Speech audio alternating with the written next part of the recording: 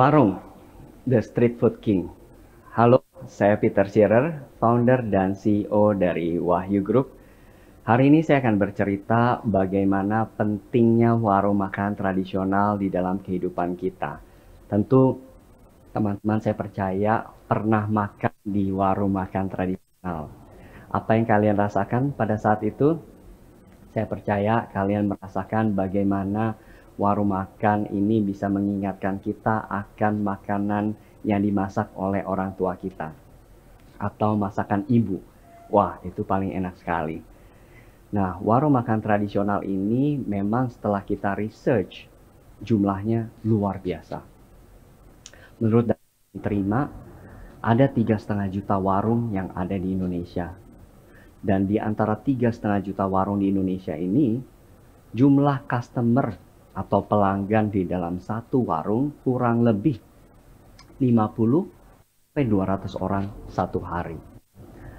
Kemudian satu customer atau pelanggan mereka bisa menghabiskan 10.000 sampai 15.000 rupiah di dalam satu porsi. Mungkin tergantung tanggalnya. Ketika tanggal tua mungkin mereka lebih irit gitu ya. Nah, average income atau pendapatan dari warung kurang lebih di dalam satu hari sekitar 500 ribu sampai 1 juta rupiah. Atau di dalam satu bulan bisa 15 juta sampai 30 juta rupiah. Sebuah angka yang menarik untuk seukuran warung makan tradisional pastinya. Bicara warung makan tradisional, tentu dekat kaitannya dengan kita semua yang pernah makan. Nah, inilah persepsi yang didapat dari hasil research yang kami lakukan. Kenapa orang ingin makan di warung makan tradisional? Yang pertama, warung makan tradisional dikatakan selalu hadir dan tersedia. Memang, melihat jumlah yang tadi saya jelaskan di awal, warung makan ada di mana-mana. Ingin makan bakso, Mungkin di sekitar kita ada warung makan bakso. Ingin makan soto, mungkin di sekitar kita ada warung makan soto. Ingin makan nasi dengan berbagai macam sayur, mungkin di sekitar kita ada warung Tegal. Dan seterusnya. Nah, warung makan ini memang karena ada di mana-mana dan juga banyak yang bukanya sampai malam, persepsinya adalah warung makan selalu hadir dan tersedia bagi kita. Kemudian persepsi yang kedua, warung makan tradisional ini sangat identik dengan keramahan dari para pemilik warung makannya. Mereka terbuka, hangat, dan ramah. Mereka selalu dengan sigap ketika kita masuk, selalu disapa dengan ramah, dan kemudian dilayani dengan sangat cepat. Ya, itulah sebabnya kenapa banyak uh, orang yang suka makan di warung makan tradisional, khususnya mereka yang mungkin lagi buru-buru. Karena hanya dengan beberapa sentuhan atau teknologi touchscreen seperti yang kita tahu, makanan udah bisa langsung tersedia di depan kita. Kemudian yang ketiga yang menarik adalah uh, warung makan ini dikatakan juga sebagai teman seperjuangan.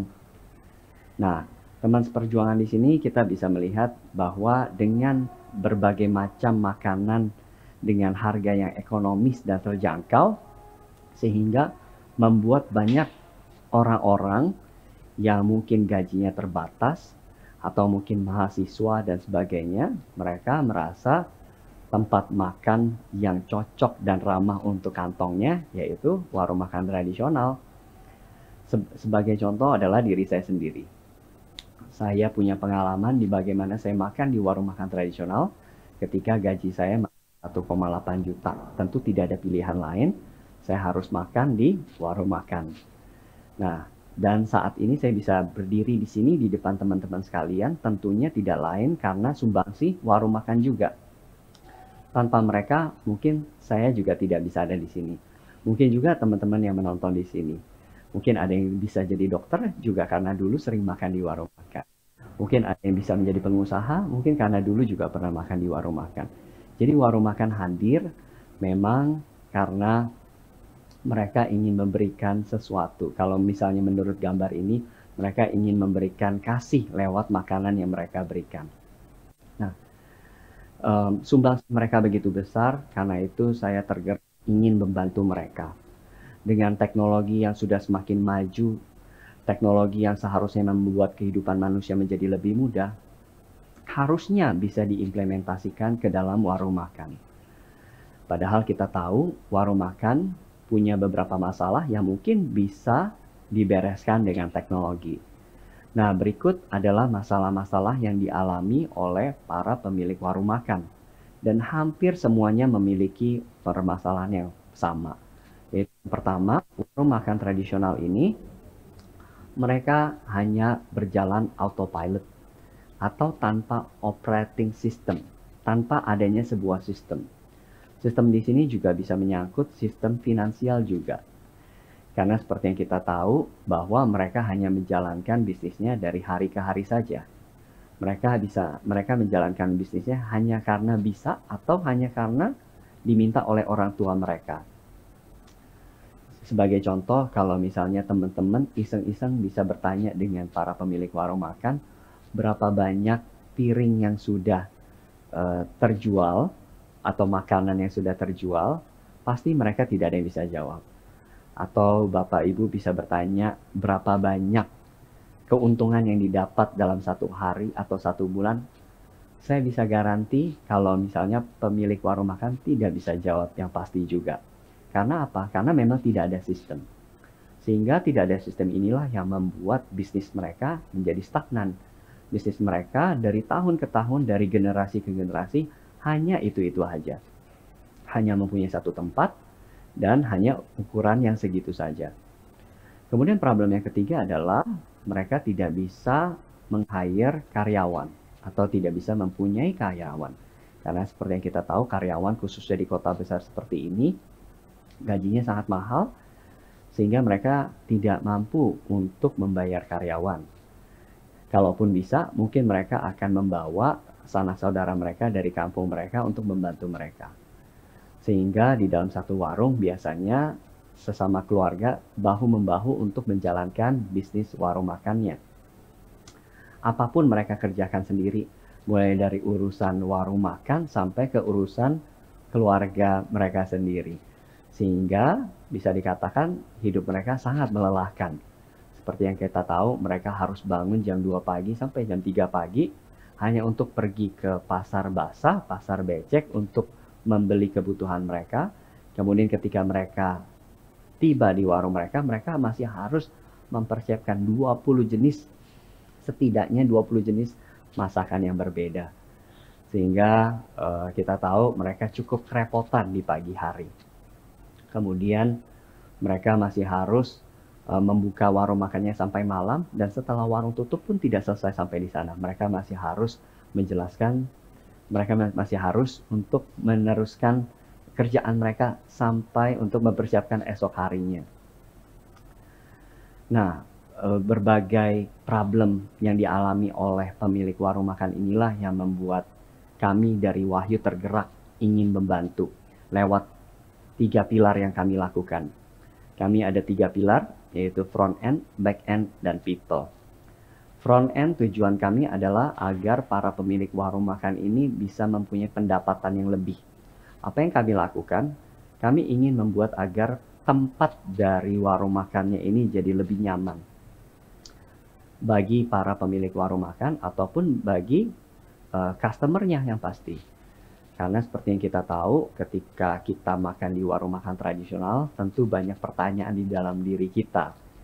Dari mana uh, asal muasal bahan baku yang dibeli, bagaimana cara memasaknya, apakah makanannya uh, higienis atau tidak. Nah, pertanyaan-pertanyaan itu yang sebenarnya kita ingin singkirkan. Kita ingin agar mereka mempunyai uh, kenyamanan ketika mereka menyantap makanan dari warung makan tradisional. Kemudian kita juga memberikan infrastruktur, yaitu bagi para pemilik warung makan yang mungkin membutuhkan uh, beberapa alat di dalam dapur mereka agar mereka bisa lebih produktif seperti mungkin mereka ingin ada tambahan kulkas, mereka ingin butuh tambahan kipas angin dan sebagainya. Kemudian pilar yang kedua adalah back end. Kami di dalam back end ini ingin agar para pemilik warung makan hanya fokus dalam memasak dan melayani pelanggan. Kemudian sisanya biar kami yang membantu dari belakang. Seperti bagaimana cara mereka membeli bahan baku. Kami menyediakan mereka aplikasi agar mereka bisa menggunakan aplikasi kami dalam membeli bahan baku mereka. Yang kami lakukan adalah kami garansi agar produk kami terbaik dan harga kami terbaik dan kami deliver tanpa ongkos kirim ke depan warung makan mereka. Jadi kami sangat memudahkan uh, operasional bisnis mereka. Kemudian kami juga menerapkan beberapa fitur di dalam aplikasi kami seperti fitur keuangan agar para pemilik warung makan bisa lebih mudah dalam mengetahui pengeluaran dan pemasukan dari bisnis mereka. Harapannya adalah agar para pemilik warung makan mereka bisa lebih efisien dalam uh, pengeluaran bisnis mereka. Kemudian yang terakhir yaitu people. Ini adalah piramida paling bawah yang menurut kami adalah yang sangat penting. Karena itu kami memberikan Wahyu Academy di mana di dalam akademi ini para pemilik warung bisa belajar, bisa melatih diri di dalam melayani pelanggan lebih baik, bagaimana para pemilik warung makan bisa mengerti bagaimana masalah finansial, kemudian bisa mengerti bagaimana membuat dapur mereka bisa menjadi lebih bersih dan lebih nyaman bagi orang-orang yang menggunakan dapurnya. Kemudian kami ada komunitas juga. Komunitas di mana para pemilik warung makan kami gabungkan di dalam satu wadah sehingga mereka bisa saling mensupport satu dengan yang lain mereka bisa saling berbagi tips kesuksesan dan sebagainya. Kami juga mempunyai program loyalty di mana agar para pemilik warung bisa lebih aktif sehingga goal kami adalah para pelanggan warung makan ini bisa uh, merasakan manfaat dan uh, bisa lebih nyaman ketika makan di warung makan Wahyu. Singkat kata, kalau Gojek membantu ojek, Wahyu membantu warung makan. Saat ini kami sudah membantu 13.500 warung makan yang ada di Jakarta, Bogor, Depok, Tangerang, dan Bekasi. Harapannya kami ingin agar Wahyu bisa ada di mana-mana, bukan cuma di Indonesia, bahkan bisa di luar Indonesia. Program yang kami berikan ada beragam. Kami mempunyai Wahyu Gathering, di mana di dalam satu tempat kami kumpulkan para pemilik warung makan agar mereka bisa kami jelaskan mengenai program-program kami yang terbaru dan agar mereka juga lewat wadah ini mereka bisa saling bersilaturahmi dan kami bisa menjadi sebuah keluarga besar yang saling memberi dukungan satu dengan yang lain. Kami mempunyai Wahyu Academy seperti yang sudah dijelaskan. Menariknya di dalam Wahyu Academy kami, kami tidak hanya mengajarkan skill tapi kami juga menerapkan value-value yang penting sebagai seorang pengusaha. Kami menerapkan value jutawan di dalam Wahyu Akademi kami. Apa itu jutawan? Jutawan singkatan dari jujur tak menawan. Kami ingin agar para pemilik warung makan tradisional ini bisa lebih jujur di dalam berbisnis karena jujur adalah uh, hal yang sangat penting di dalam kita melakukan segala sesuatu. Kemudian kita ingin agar mereka tangguh, mereka bisa lebih kuat di dalam masa-masa seperti yang sekarang kita alami bersama. Kemudian kita ingin agar mereka lebih menawan, agar pelanggan lebih senang ketika makan di warung makan mereka. Wahyu juga mempunyai program mewujudkan mimpi mereka. Kami mempunyai program umroh karena kami percaya banyak para pemilik warung makan yang ingin pergi umroh. Dan kami telah berhasil dan sangat senang sekali bisa memberangkatkan dua mitra warung makan Wahyu umroh tanpa biaya. Yang kami harapkan agar bukan hanya dua mitra warung makan tapi lebih banyak lagi yang bisa menggapai mimpinya untuk bisa umroh. Kemudian yang kedua, kami mempunyai program beasiswa karena kami tahu banyak para pemilik warung makan yang mungkin ada terkendala biaya ingin menguliahkan anaknya. Kami mempunyai program beasiswa agar anak-anak dari para pemilik warung makan bagi mereka yang berprestasi kita bantu dalam program beasiswa agar mimpi mereka juga bisa tercapai. Karena bagi kami, sukses bukan hanya soal materi, berapa banyak uang yang kami terima, tapi buat kami sukses adalah bagaimana kita bisa mengubah hidup orang bisa menjadi lebih baik lagi. Bagaimana kita bisa menjadi dampak yang positif bagi banyak orang. Itulah Wahyu Way. Karena kami ingin juga bersama United Nations melalui program Sustainable Development Goals, kami ingin agar program-program seperti tidak ada lagi kemiskinan, tidak ada lagi kelaparan, dan pemerataan dari pendidikan. Tiga inilah yang menjadi fokus dari impact yang kami lakukan melalui Wahyu bersama United Nations dan juga Yayasan Saluran Berkat Mandiri uh, mitra yayasan kami agar lebih banyak lagi orang-orang di luar sana, khususnya para pemilik warung makan dan pelanggan warung makan yang bisa juga mendapatkan dampak yang positif dari apa yang kami kerjakan. Banyak pertanyaan yang sering ditanyakan kepada kami, Wahyu, uh, mengapa kita melakukan impact business? Mengapa kita ingin melakukan hal-hal yang berbau sosial. Atau ada juga pertanyaan yang bagaimana cara meyakinkan warung makan tradisional agar mereka bisa bergabung dan go digital lewat kami. Buat kami jawabannya sangat sederhana. Bagi kalian yang ingin melakukan impact business dan juga ingin menggandeng banyak orang dan membantu banyak orang ingin go digital, sebenarnya hanya tiga saja. Yang pertama adalah masalah vision. Visi Wahyu kami ingin agar tidak ada lagi kelaparan. Seperti yang kita dengar dan tahu, menurut data ada 20 juta orang kelaparan di Indonesia. Dan menurut data ada tiga setengah juta warung yang ada di Indonesia. Jadi bayangkan kalau seandainya satu warung bisa berkontribusi 7 piring makan satu hari kepada orang yang kelaparan, idealnya mungkin tidak ada lagi kelaparan. Nah, itulah sebabnya kenapa kita ingin membantu warung makan mereka menjadi lebih baik. Sebenarnya kita ingin agar mereka bisa lebih baik dan sejahtera, agar warung makan ini bisa membantu orang-orang di sekitarnya. Itulah visi kami. Jadi saya ingin mengencourage orang-orang agar kita bisa mempunyai visi bukan hanya untuk diri kita sendiri tapi bagaimana bisa menjadi dampak bagi banyak orang. Kemudian yang kedua diperlukan hati. Hati yang tulus untuk membantu mereka. Karena kalau tanpa hati yang tulus, kita tahu tidak mudah untuk bisa mengedukasi mereka, merangkul mereka. Syaratnya adalah mempunyai hati yang tulus. Dan juga yang kedua adalah smart. Kita tentu memerlukan strategi. Bagaimana strategi yang kami lakukan ini bisa membuat para pemilik warung makan bisa nyaman dan percaya dengan Wahyu.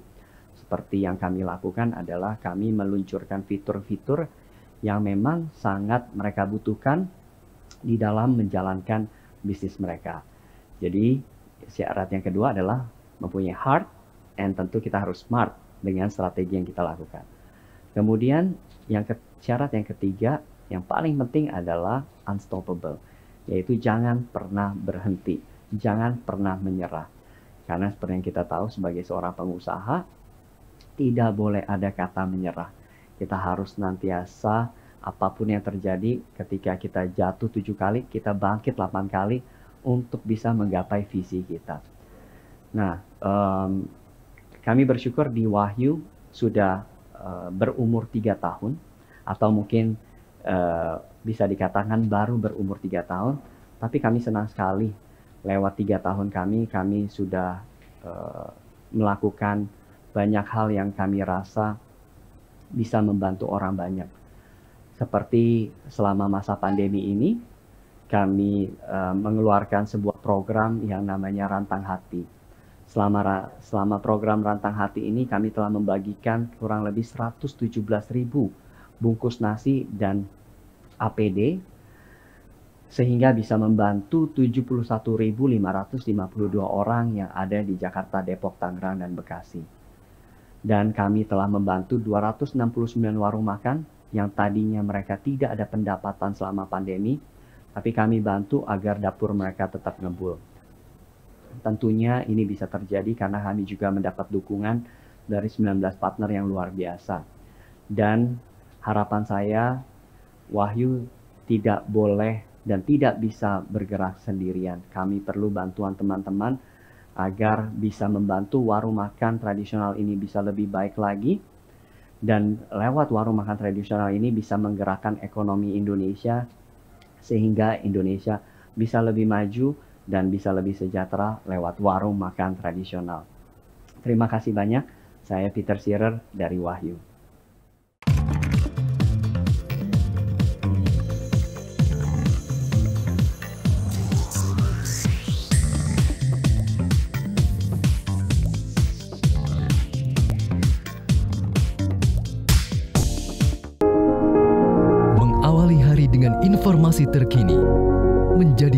Referensi dan inspirasi di setiap aktivitas. Melalui news video portal, segala informasi dapat disajikan cepat, akurat, dan lengkap. Dengan kekuatan teknologi digital, Medcom.id hadir dengan berita pilihan yang dikemas secara menarik. Medcom.id, digitally inspire people. Sudah 15 menit, masih kejebak macet. Tenang, tenang. Daripada emosi, 15 menit Anda jadi lebih berharga kalau bersama saya. 15 minutes setiap Rabu jam 6 sore lewat 45 menit. Mediaindonesia.com hadir dengan opini cerdas dan narasumber kredibel, mudah diakses, informasi berkualitas ada di genggaman Anda.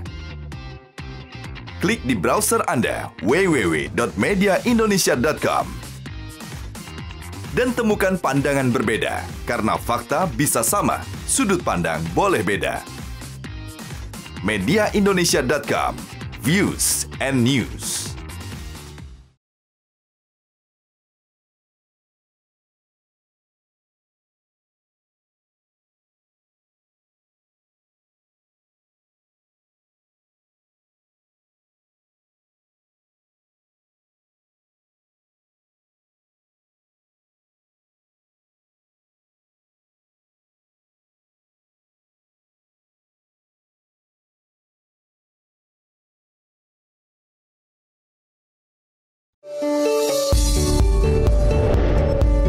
Setiap denyut kota, saya selalu menjadi saksinya.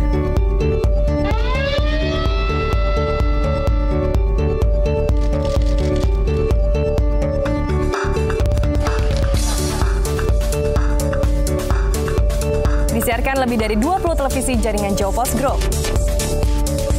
Jawa Post TV, paling Indonesia.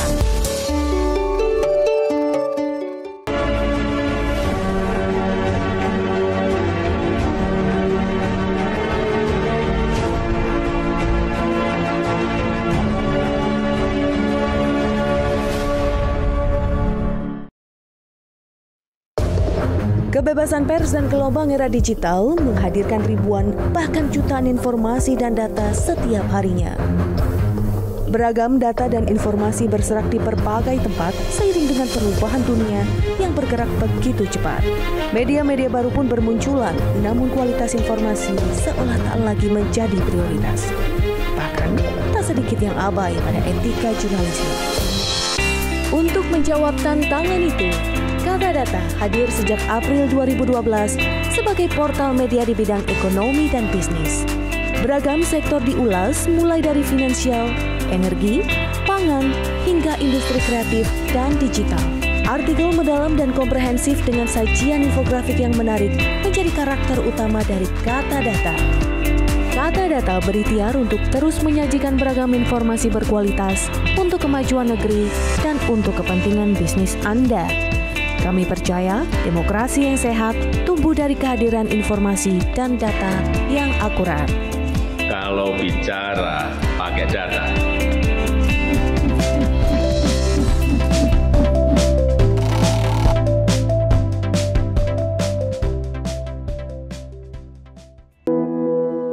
Hidup terlalu pendek untuk membiarkan pemikiran-pemikiranmu, ide-idemu terdiam begitu saja.